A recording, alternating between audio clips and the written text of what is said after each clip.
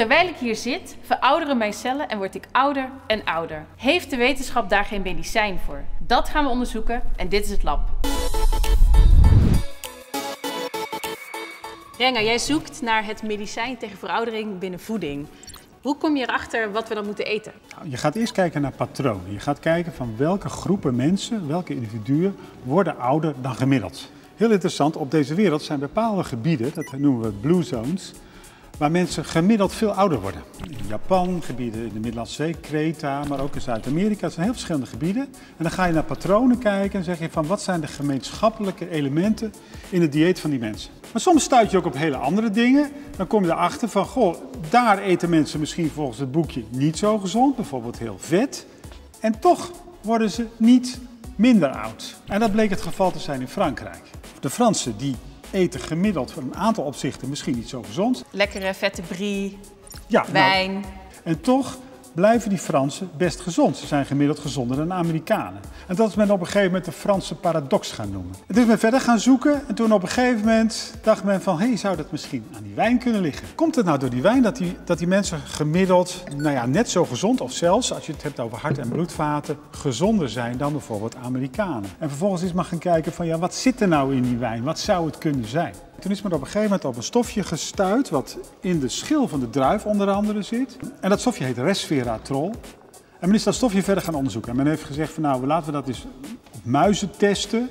En men kwam inderdaad achter dat als je muizen behandelde met resveratrol, dat hun conditie beter werd. Ze konden langer rennen in een renopstelling. En ze waren ook beter bestand tegen, laten we zeggen, ongezond, tegen cafetaria maaltijden. En wat doet die resveratrol precies in die cellen? Nou, die stof zal onder andere het DNA beschermen tegen schade. En veroudering treedt op deels door DNA-schade en deels ook door omstandigheden van buiten, bijvoorbeeld UV-straling. En dat resveratrol voorkomt onder andere dat dat gebeurt. Dan moet ik dus een heleboel van die eh, schilletjes pellen en eten. Of kan ik ook wijn drinken? 52 flessen zou je per dag moeten drinken om de hoeveelheid te krijgen die die muizen hebben gehad. 52 per dag. 52 per dag, dat zijn er bijna 19.000 per jaar. Dat lijkt me niet verstandig. Daar word je niet oud mee. Maar dan kan je dit natuurlijk ook in een pil stoppen en dat slikken. Nou ja, dat is natuurlijk een heel slim idee. Dat heeft de commercie ook ontdekt. En inderdaad, die pillen zijn er, hè. Capsules met resveratrol. En we hadden hoge verwachtingen van. We dachten van, nou ja, kijk, we hebben die stof geconcentreerd, de dosis klopt en dat eh, gaat werken. Nou, helaas is in onderzoek gebleken dat we daar eh, niet echt gezonder en ook niet ouder door worden. Dus we hebben geen wondermedicijn tegen veroudering. Helaas op dit moment nog steeds niet. Nee. Ja, het zijn toch een beetje de, de, de oudbollige adviezen van, eh, van, van je oma, bij wijze van spreken. Voldoende slaap, niet te veel stress, voldoende bewegen, eet gevarieerd en matig.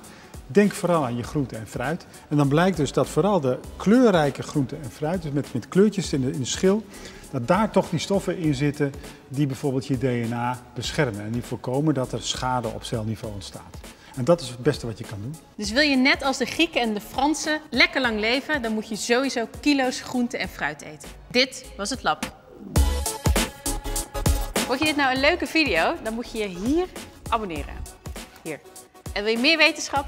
Klik dan hier.